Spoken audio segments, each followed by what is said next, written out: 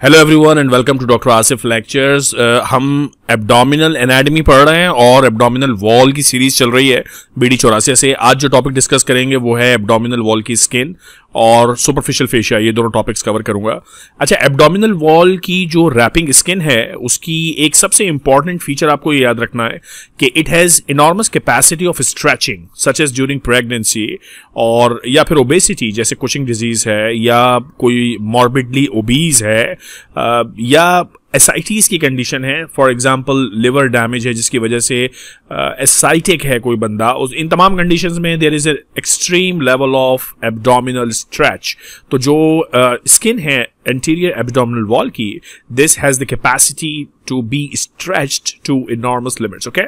Uh, तो ये बात आपको पता होनी चाहिए अच्छे तरीके से कि ये इसकी कैपेसिटी है। इनफैक्ट इस अनड्यू स्ट्रेचिंग की वजह से एब्डोमिनल स्किन पर व्हाइट स्ट्रीक्स भी पड़ सकते हैं। जैसे अक्सर फीमेल्स में भी ये होता है कि when they are pregnant their abdominal skin stretches और जब डिलीवरी हो जाती है when the baby is out of the body then these lines stay for the rest of the life linea albicantes so ये एक इंपॉर्टेंट फीचर है जो आपको पता होना चाहिए about the skin of the abdominal cavity अच्छा अब इंपॉर्टेंट जो जो फीचर्स जैसे जैसे आते जाएँगे इस हेडिंग में वो हम डिस्कस करते जाएँगे।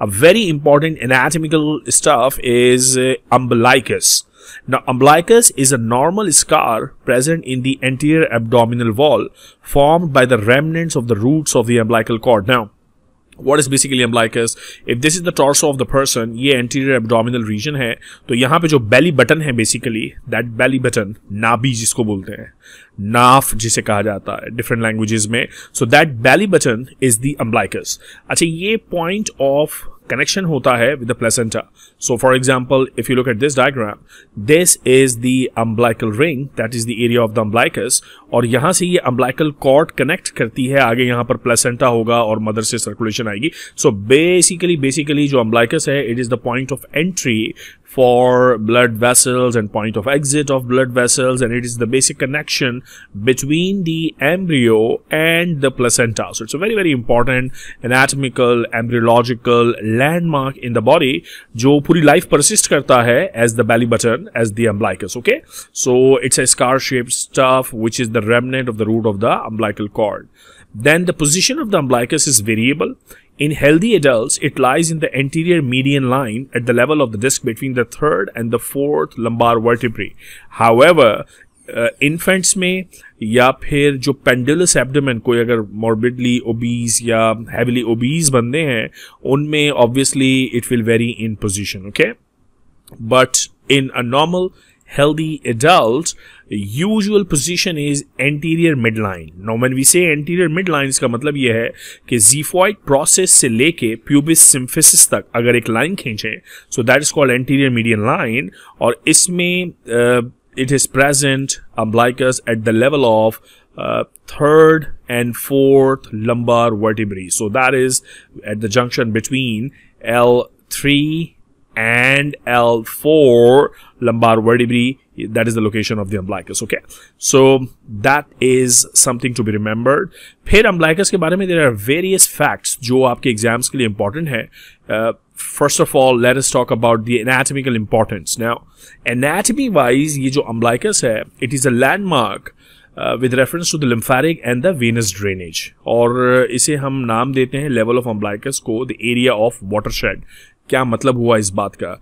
When we say area of watershed that simply means के अम्ब्लाइकस के लेवल पर अगर एक लाइन इस तरह ड्रॉ कर ली जाए तो जितना एरिया अम्ब्लाइकस के ऊपर का है, वो ऊपर ड्रेन करेगा और जितना अम्बलाइकस के नीचे का एरिया है, वो नीचे ड्रेन करेगा। That's in the very simple words okay यानी जो ऊपर का वेनस ड्रेनेज है, वो ऊपर कहीं जाएगा, नीचे का वेनस ड्रेनेज नीचे की वेन्स में जाएगा। इसी तरह लिम्फेरिक्स हैं। ऊपर की लिम्फेरिक्स ऊपर की तरफ़ क्रॉस नहीं करती यूजुअली ओके तो ये एक इंपॉर्टेंट एनाटमिकल फैक्ट है, जो आपको पता होना चाहिए कि lymph and venous blood flow upwards above the plane of the umbilicus and downwards below the plane तो इसको हम वाटर शेड कहते हैं। So this is the area of water shed ऊपर की चीज़ें ऊपर जाएँगी, नीचे की चीज़ें नीचे जाएँगी। ठीक है? ब्लड और लिम्फ की बात हो रही है। नाउ एक और इसमें डायग्राम है, यहाँ पे इसको देख लेते हैं। So this particular diagram so that is the normal person standing है ये वाटर शेड एरिया है और ऊपर का जो ब्लड वेसल है, वो ऊपर की तरफ़ ड्रेन करेगा, नीचे का जो है, वो नीचे की तरफ़ ड्रेन करेगा। So that's a normal person okay then if there is obstruction if say for example there is portal obstruction such as shown in diagram B. So portal obstruction से around the umbilicus you will start seeing dilatation of different veins region उसका ये है, अभी थोड़ी देर में हम इसके बारे में बात करेंगे कि umbilicus is one of the three region of your body जहाँ पे पोर्टो सिस्टेमिक एनास्टोमोसिस होता है। यानी जो पोर्टल सर्कुलेटरी सिस्टम है पोर्टल वेनस सिस्टम और सिस्टेमिक जो वेनस सिस्टम है, उनमें देर आर एनास्टोमोटिक पॉइंट्स जैसे फॉर एग्जांपल इसोफिगस का एरिया एक है, इसके अलावा एनल एरिया एक है, उसके अलावा umbilical area so this three regions in your body जहाँ पोर्टल सिस्टम और जो सिस्टेमिक वेन्स हैं वो आपस में एनास्टोमोज करती हैं। तो अगर इस एरिया का there is portal obstruction so umbilicus के अराउंड वेन्स इस तरह अगर किसी पेशेंट में आपको देखती हुई मिलती हैं स्किन के एरिया में dilated tortuous veins so that is indicative of portal obstruction अच्छा then look at diagram number C if normally क्या रूल है कि ये वाटरशेड एरिया है, इसके ऊपर का ब्लड फ्लो सारा ऊपर ड्रेन होना है, लेकिन अगर ये नीचे ड्रेन हो रहा है so it is indicative of superior vena cava obstruction यानी ऊपर नहीं जा सकता तो नीचे आ रहा है। और इसी तरह वाटरशेड एरिया से नीचे का ब्लड अगर ऊपर ड्रेन हो रहा है so that is indicative of inferior and it make sense this is inferior vena cable obstruction देखो it it simply make sense कैसे? जरा देखिए। ऊपर का ब्लड ऑब्वियसली ड्रेन होगा कहाँ? सुपीरियर वेना केवा में। अब अगर सुपीरियर वेना केवा यहाँ ब्लॉक हो जाती है तो ये ब्लड नीचे आएगा ना? So superior vena cava blockage में ब्लड नीचे आएगा।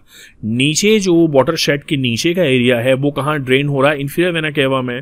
और अगर वो इन्फीरियर वेना केवा ब्लॉक हो जाती है तो ब्लड ऑब्वियसली ऊपर जाएगा। So that kind of makes very much sense अगर आपको इस तरह वेनस डायलिटेशन मिलती है पोर्टल ऑब्स्ट्रक्शन ओके राइट तो ये वाटर शेड की बड़ी इंपॉर्टेंस है।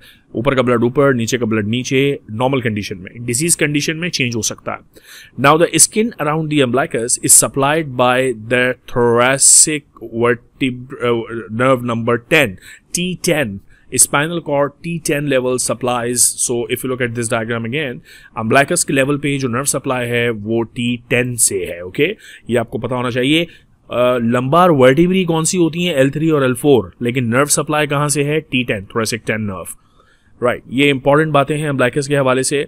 Umbilicus is one of the important sites H B tributaries of the portal vein ये मैंने बात आपसे कर ली basically porto systemic anastomosis it is one of the sides three sides in the body okay अच्छा अगर यहाँ पे पोर्टल ऑब्स्ट्रक्शन होगी तो अम्ब्लैकस के around you see dilatation of blood vessel and this is called caput medusae इसके लिए ये नाम यूज़ किया जाता है okay so we have kind of discuss that now embryological importance तो एनाटमी वाइज अम्ब्लाइकस ऐसे फालतू चीज़ नहीं है बेकार चीज़ नहीं है अम्ब्लाइकस को देख के जब कभी आपने अपनी नाभी नेक्स्ट टाइम देखनी है बेली बटन देखना है so you have to remember कि यहाँ वाटरशेड एरिया है ये मौजूद है at the level of L three and L four और ये सप्लाई होता है बाय टी टेन तो ये सारी बातें आपको पता होनी चाहिए अपनी नाभि को देखकर ओके राइट अब जरा एम्ब्रियोलॉजिकली बात करते हैं। Umbilicus is the meeting point of four folds embryologically जब बॉडी फोल्ड होती है there are lateral fold there is head and tail folding so वो तमाम फोल्ड इस पॉइंट पर मीट करते हैं ब्लाइकस के रीजन पर।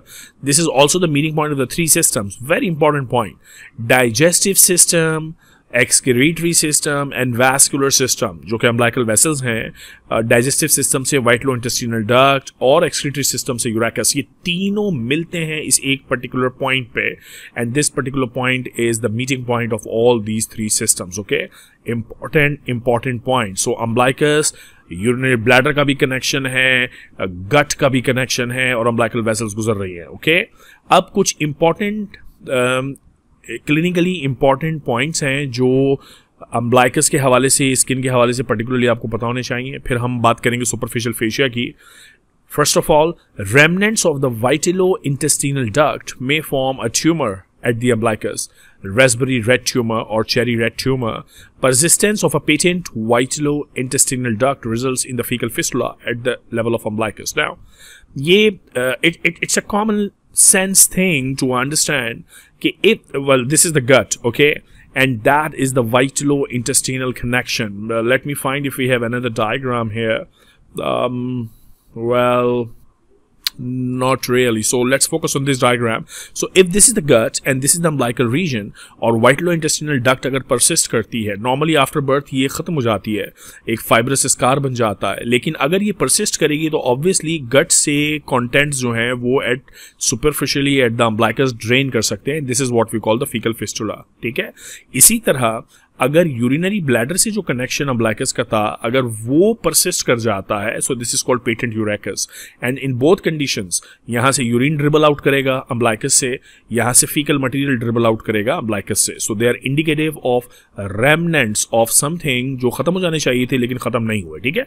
या पेटेंट यूरेकस है या फीकल फिस्टुला है. Simple to understand Now, persistence of the proximal part of the vital intestinal duct is the Meckel's diverticulum. ये एम्ब्रियोलॉजी में पढ़ाऊँगा जब वहाँ डिस्कस करेंगे. Enterocele different parts of you know patent connections Right. Um, umbilical vessels in the birth can be identified at the umbilicus. There are two tortuous umbilical arteries and a single umbilical vein.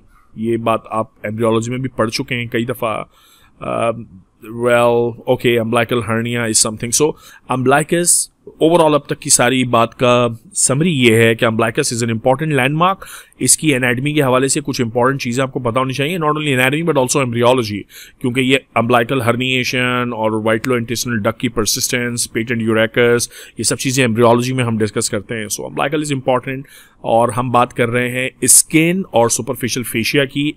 Anterior abdominal wall के हवाले से। So so, skin से related ये कुछ important चीज़ें हैं जो अभी हमने डिस्कस की हैं।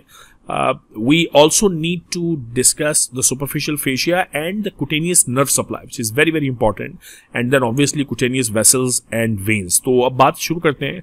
सुपरफिशियल फेशिया की ये जो सुपरफिशियल फेशिया है, ये जैसे different parts of the body में है कि स्किन के बाद यू हैव सुपरफिशियल फेशिया अब हर जगह बॉडी में according to the regional requirements superficial fascia की कॉम्पोजिशन डिफरेंट होती है बट पर्पज बेसिकली सेम ही है कि it provides kind of a cushion you know lubrication type of area or a passage to a lot of blood vessels and nerves and lymphatics. So superficial fascia as, is an important entity.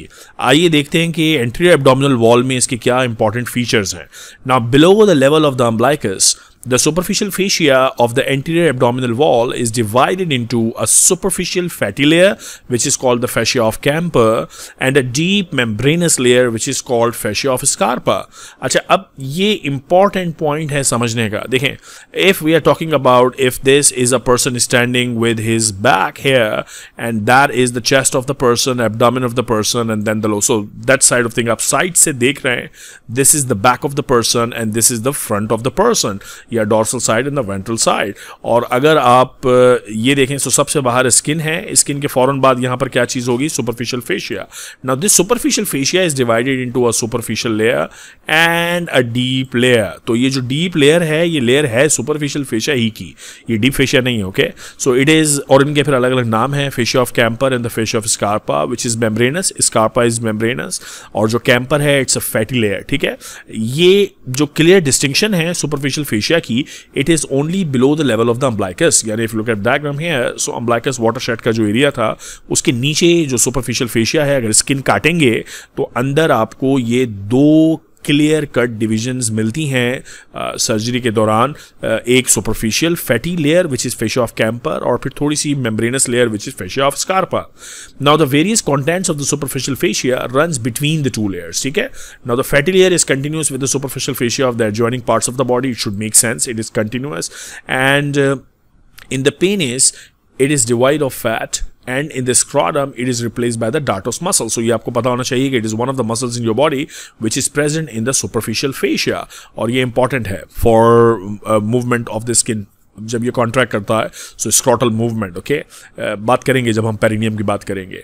Membranes जो layer है is continuous below with similar membranous layer of the superficial fascia of the perineum which is called the Colles fascia the attachments of the Scarpa and the Colles fascia perineum के में हम ये बात करेंगे Holden's line and pubic tubercle so that is all not high yield here we will talk about these when we study perineum at the moment abdomen हमारा topic है so let's stuck ourself to abdomen now in the median plane The membranous layer is thickened to form suspensory ligament and fundiform ligament of the penis and clitoris again perineum का bit है जो हम discuss करेंगे that is back to our business again the superficial fascia contains an extremely variable quantity of fat which tends to accumulate in the lower part of the abdomen after puberty. आपने अगर अपनी ही body को अगर आप गौर से देख लें particularly females में ये फैट ज़्यादा होता है just below the level of the umbilicus ये जो एरिया uh, है यहाँ पे काफ़ी फैट जमा होता है. So there is a protrusion below the level of the umbilicus it's because of the accumulation of the fats okay और इस फेशिया में होता क्या क्या है? What is the content you know summary of superficial fascia of the abdominal wall it contains cutaneous nerves it contains cutaneous vessels and it contains superficial lymphatics okay ये it's not strange for you because पूरी body में जहाँ जहाँ superficial fascia है, वहाँ यही है। Superficial fascia के अंदर कुटेनियस नर्व्स हैं uh, कुटेनियस वेसल्स हैं, और सुपरफिशियल लिम्फेरिक्स हैं। सो कुल मिला के सारी बात क्या हुई? एब्डोमिनल वॉल के सुपरफिशियल फेशिया की स्किन की बात हमने कर ली। सुपरफिशियल फेशिया में there is a superficial layer which is fatty there is a deep layer which is membranous इनके बीच में ये सारी चीज़ें चल रही होती हैं। और ये सुपरफिशियल फेशिया की दोनों लेयर्स कंटिन्यू होती हैं पेरिनियम में। और ये मैंने अभी छोड़ दिया because we will discuss this in perineum जब डिस्कस करेंगे। Okay okay? अब आइए डिस्कस करते हैं कि कुटेनियस नर्व्स यानी जो आपका एंटीरियर एब्डोमिनल वॉल है, उसकी कुटेनियस नर्व सप्लाई क्या है?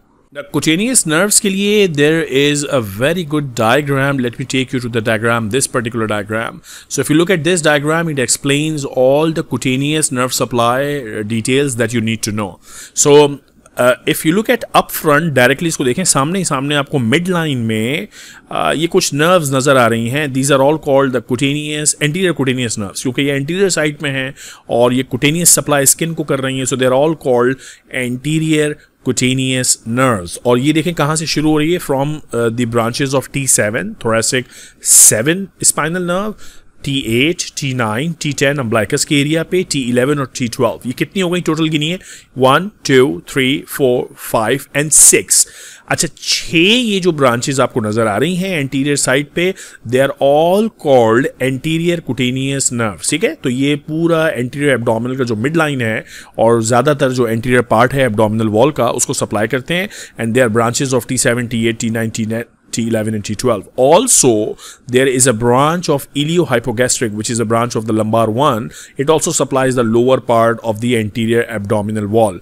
फिर एक और nerve है which is called ilioinguinal, which also arises from the L1 spinal nerve और ये basically supply करती है आपके perineal structures को ठीक है तो एंटीरियर कुटेनियस ब्रांचेस में अगर मैं आपसे कहूँ तो क्या क्या शामिल है टी सेवन से टी ट्वेल्व और ये एल वन की इलियो हाइपोगैस्ट्रिक तो टोटल कितनी हो गई एंटीरियर कुटेनियस ब्रांचेस कितनी है total there are total six anterior cutaneous branches और एक एल वन इसमें अगर आप ऐड कर दें प्लस वन तो टोटल एंटीरियर एब्डोमिनल वॉल को एंटीरियरली कितनी ब्रांचेस सप्लाई कर रही हैं? How many branches in total there are seven branches which are called anterior cutaneous nerves ठीक है?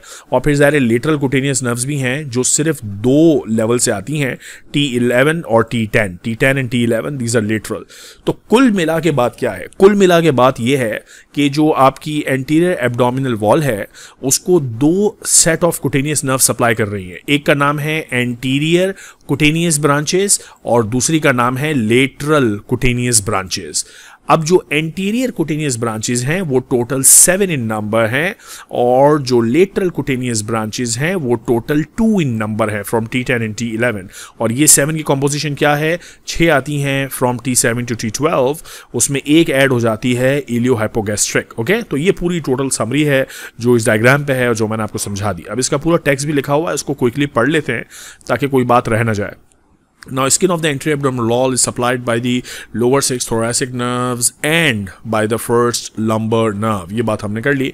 Anterior cutaneous nerves, seven in number, are derived from lower five intercostal, the subcostal and the iliopathic. ये सारी बात हमारी हो गई है कि छह जो हैं वो T7 से T10 और एक जो है वो L1 की इलियोहाइपोगैस्ट्रिक ये एंटीरियर कुटेनियस नर्व्स बनाती हैं और वी हैव डिस्कस दी एक सिर्फ़ इंपॉर्टेंट बात और है जो यहाँ डिटेल में लिखी हुई है अब देखो अगर हम दोबारा इस डायग्राम पे आए सो वी आर सीइंग कि ये जो है T seven T eight T nine ये क्या है बेसिकली ये नर्व्स है ना, और ये अंदर से ऊपर की तरफ़ आ रही हैं, यानी फ्रॉम डीप टू सुपरफिशियल तो ऑब्वियसली ये कुछ स्ट्रक्चर्स को पियर्स करके आ रही होंगी। तो और यहाँ सेंटर में कौन सा मसल होता है? There is a rectus abdominis muscle तो ये रेक्टस एबडोमिनस को पियर्स करके स्किन पे निकलती है। इसीलिए आपको यहाँ पे ये जो डिटेल्स है, वो सारी मिलेगी कि ये जो नर्व्स हैं they pass between initially the internal oblique and the transversus abdominis muscle then pierces the posterior lamina of the internal oblique काफ़ी चीज़ों को पियर्स करती हैं। रेक्टस शीट फीट में एंटर होती हैं और फिर रेक्टस एब्डोमिनस को भी पेयर्स करती हैं. The pierce the rectus abdominis muscle and the anterior wall of the rectus sheath to come to the median plane and divide into the median lateral branches so basically the pierce a lot of structures and they come up front ठीक है? अच्छा बाकी जो इलियो inguinal nerve है, वो चूँकि genital area को supply करेगी तो ये मैं पेरिनियम में आपको पढ़ाऊँगा. लेटरल कुटेनियस दूसरा सेट था जो मैंने आपको बता दिया कि arise from T and T okay तो और ये भी ज़ाहिर है, कई सारे मसल्स को पियर्स करके lateral side of the abdomen पे निकलती हैं। Then we have to talk about cutaneous arteries which is तो ये नर्व्स की बात आई होप आप सबके समझ में आ गई भाई। मैंने इसको बड़ा ही समराइज करके आपको बता दिया कि दो सेट्स हैं एंटीरियर कुटेनियस और लेटरल कुटेनियस जो एबडोमिनल वॉल को सप्लाई करते हैं। एंटीरियर कुटेनियस में क्या क्या है? We have discussed lateral cutaneous में ये दो हैं we have discussed okay now let's talk about cutaneous arteries of abdominal wall now cutaneous arterial supply जो है एबडोमिनल वॉल की, उसको समझने के लिए आपको, मैं इसको समराइज देता हूँ इस डायग्राम को ताकि इजीली आपको बात समझ में आ जाए। तीन सेट्स हैं जो आपको समझने पड़ेंगे। पहला सेट है जो एंटीरियर साइड पे सप्लाई कर रहा है मिड लाइन में दैट्स द फ़र्स्ट सेट और इसमें दो आर्टरीज हैं basically it contains a superior epigastric artery and it contains an inferior epigastric artery so ये दो आर्टरीज हैं. एक superior epigastric artery which is actually you know coming from the major branch internal thoracic artery एक तो जब भी आप arterial system पढ़े ना तो आपको ये पता होना चाहिए कि जो भी ब्रांच है वो एक्चुअली किस मेजर वेसल से आ रही है और उसके ऊपर कौन सी ब्रांच है. सो so, एक एंटीरियर मिडलाइन की अभी मैं बात कर रहा हूँ. So the first set of cutaneous arteries जो हैं वो हैं एंटीरियर कुटेनियस आर्टरीज ठीक है? So these are anterior cutaneous arteries और इन एंटीरियर कुटेनियस आर्टरीज में कितनी ब्रांचेस है जो आपको याद रखनी है? दो ब्रांचेस पहली का नाम है superior epigastric which is this one it supplies the area over here और सुपीरियर एपिगेस्ट्रिक कहाँ से आ रही है? From internal thoracic from internal thoracic superior epigastric फिर ये जो इंफीरियर एपिगेस्ट्रिक है, जिसकी फिर फर्दर ब्रांचेस होंगी और इस एरिया को सप्लाई करेंगी, ये इंफीरियर एपिगेस्ट्रिक कहाँ से आ रही है? It is actually coming from external iliac artery. ठीक है? So it's coming from external iliac this is coming from internal thoracic. So ये दोनों, यानी कि सुपीरियर एपिगैस्ट्रिक और inferior epigastric anterior abdominal wall को चूँकि सप्लाई कर रहे हैं so they are called anterior cutaneous arteries ठीक है?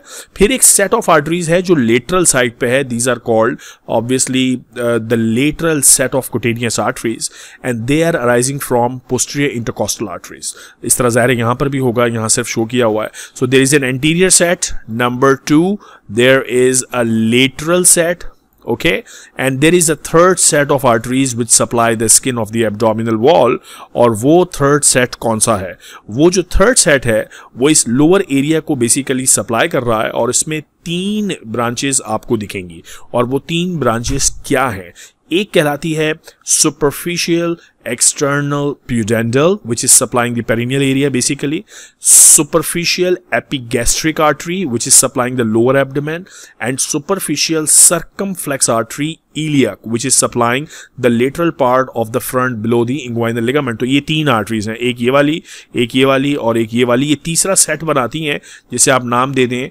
लोअर कुटेनियस ब्लड वेसल्स तो ती, और ये तीनों किससे निकलती हैं जनाब? These are all the branches of femoral artery so तीन मेजर वेसल्स हैं जो सप्लाई कर रही हैं ब्रांचेस जो सप्लाई कर रही हैं cutaneous area of the skin वो तीन मेजर वेसल्स क्या हैं? पहली मेजर वेसल का नाम है इंटरनल थोरेसिक जो एंटीरियर सेट को फ़ीड करती है। दूसरी मेजर जो वेसल्स हैं, वो पोस्टीरियर इंटरकॉस्टल्स हैं, जो लेटरल सेट को फ़ीड करती हैं। और तीसरा जो सेट है, वो है फीमोरल आर्टरी से फ़ीड हो रहा है, जो कि lower part of the abdominal area and perineal area और बिलो द एम्ब्लाइकल लिगामेंट तो that's kind of the arterial supply that you have to remember one more time let us summarise this कि तीन sets of cutaneous supply आपको याद रखनी है arteries के हवाले से। One is what we call the anterior cutaneous supply second is what we call the lateral cutaneous supply and third is what we call the lower cutaneous supply ठीक है?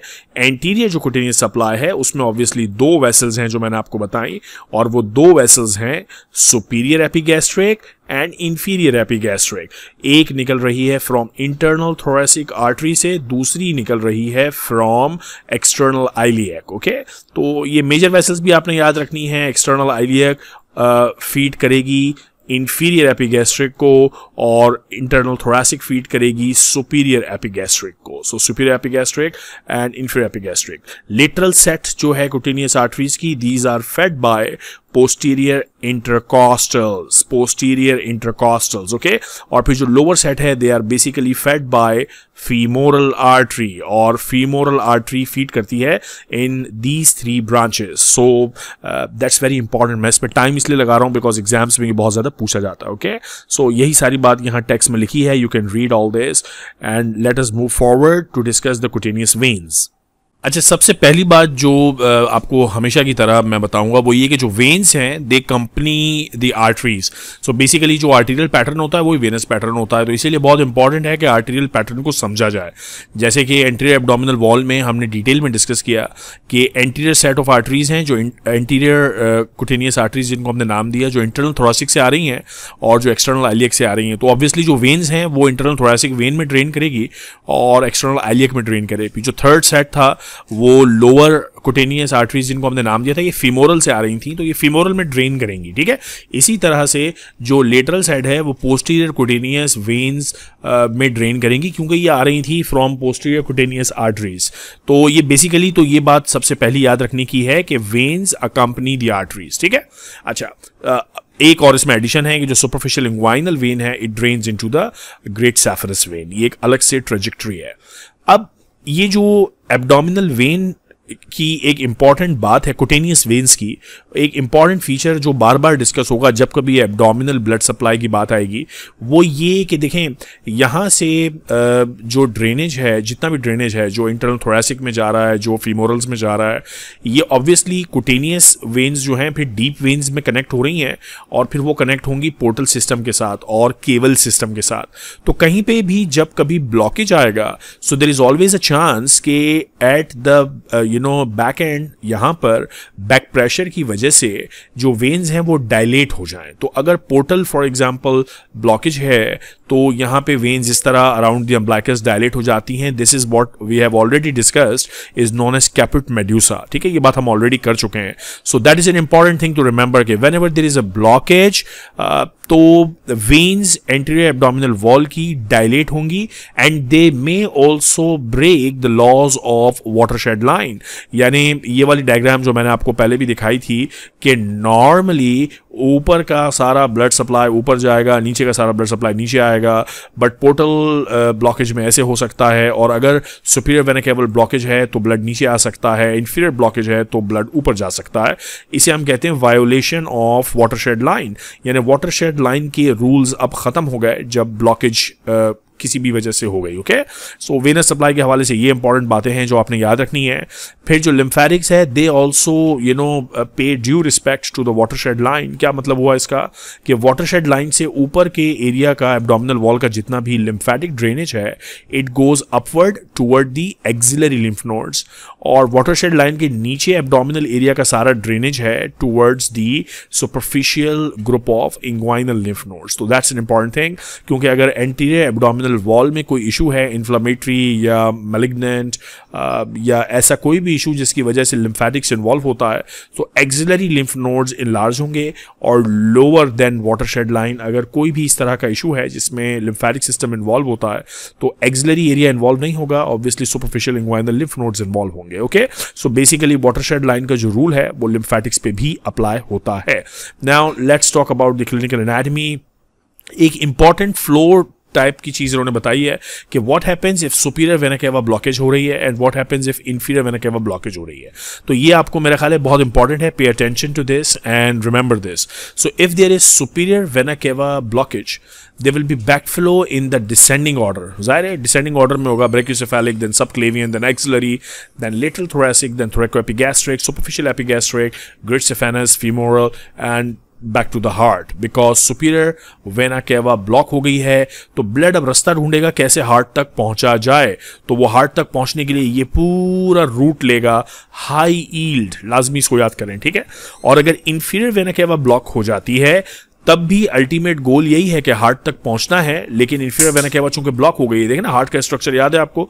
If this is the structure of the heart superior vena cava inferior vena cava इनमें कहीं पर भी अगर superior vena cava block है तो back channel से हार्ट तक पहुंचेगा ब्लड इन्फीरियर तो भी बैक चैनल से पहुंचेगा।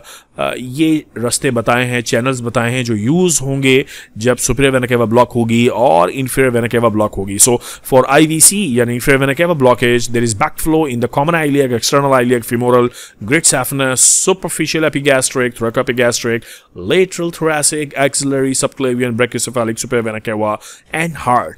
इन दोनों ब्लॉकेज में आप जरा देखें superficial epigastric blood vessels use हो रही हैं सुपरफिशियल एपिगैस्ट्रिक ब्लड वेसल्स जब यूज़ होंगी यहाँ पर भी यूज़ हो रही है तो ये डायलेट होंगी तो एब्डोमिनल वॉल में अगर आपको डायलेटेड ब्लड वेसल्स दिखती हैं टेक देम सीरियसली ओके तो यहीं पे ये लेक्चर खत्म करते हैं। स्किन और सुपरफिशियल फेशिया का नेक्स्ट वीडियो में बात करेंगे muscles of anterolateral abdominal wall की। Uh, तब तक के लिए अपना ख्याल रखिएगा। Take care of yourself